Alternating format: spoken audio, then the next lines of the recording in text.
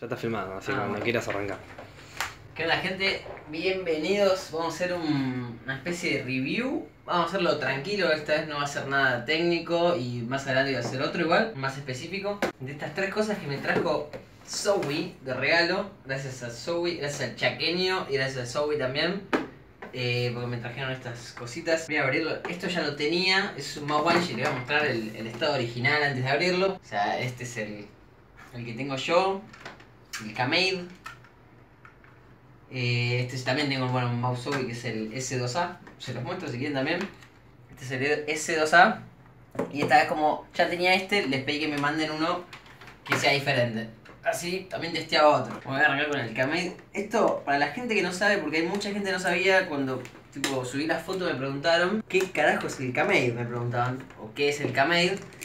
Y, y es difícil de explicar porque yo les decía, es el mouse Banshee, ¿qué es eso? Me decían, hablame en castellano, me decían. Básicamente es un aparatito que lo que hace es sostenerte el cable del mouse para que no se te enriede y no se te perjudique a la, hora del juego una vez que vas haciendo un flick o cosas así que no te perjudique. Realmente parece una boludez, a una gente piensa que, que no es útil, pero tipo, real, sinceramente es bastante útil porque después te salva de algunas situaciones como...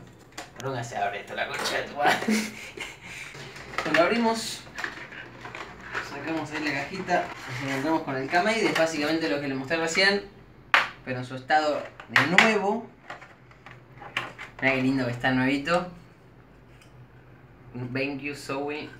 Y esto lo puedes editar a gusto. ¿Cómo se usa esto? Muy simple. Tenés el, el Banshee así, tiene que dar la cara a te, tiene- te tenés que ver ahí la carita a Zoe. Y lo que haces es enganchar el mouse a la parte de arriba y a la parte de abajo. Perfecto. Esto se mueve así. Obviamente después puedes tirar un poquito más, así que conseguís más cable y tienes más espacio y demás. Pero de verdad es muy simple y la verdad que es muy útil. Porque muchas veces el cable se dobla, ves como que pasa así y te puedes poner por encima y es muy incómodo. Así que la verdad que es algo bastante, bastante útil. La gente no lo conoce, hay mucha gente que no lo conoce, pero y, y usa cosas caseras como un broche o cinta scotch. Pero yo te recomiendo tener el Kamade porque el broche te puede romper el cable y demás. Y sinceramente no es tan útil como tener esto que tampoco es tan caro. O sea, es algo bastante accesible y que te va a servir mucho para mejorar competitivamente.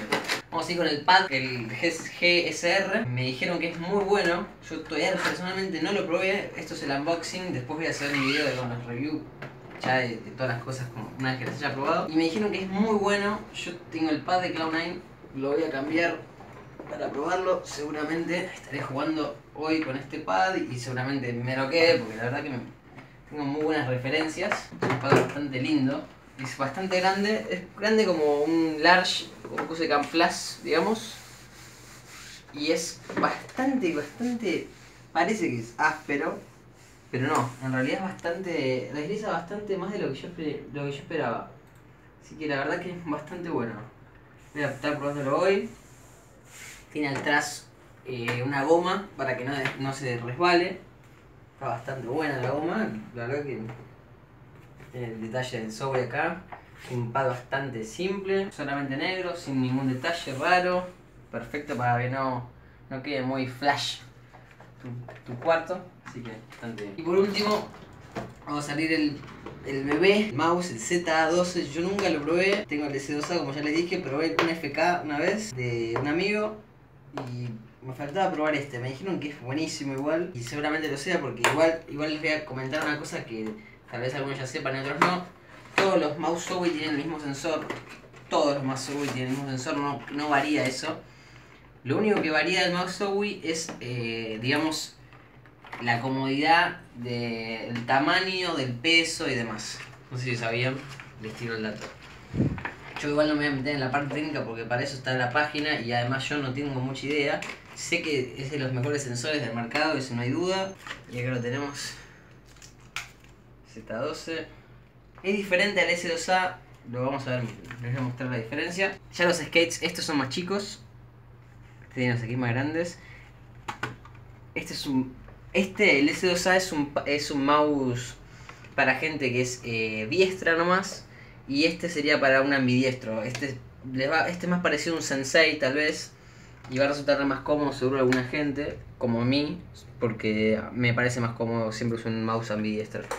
Bueno, que viene también con el mouse, viene la compañía de Zoe, ya tengo una puesta en el, en el monitor de hace tiempo. Bueno, la- el manual y demás, de cómo cambiar los hercios, cómo cambiarle la, el DPI y demás. Así que nada, solamente voy a estar probándolos, les voy a estar comentando y voy a estar mostrando cómo, cómo juego. Eh, durante esta semana, en mi stream, también voy a subir otro video de YouTube eh, ya de, de más, me- me- más, digamos, lo que, cómo me pareció usar el mouse y los periféricos en general. Y les voy a contar también que seguramente el Mouse Banshee lo estoy sorteando porque ya tengo y realmente sé que les va a servir a otra persona. Así que voy a estar sorteando mi stream y demás. Así que bueno, nada, estén atentos y gracias por venirse.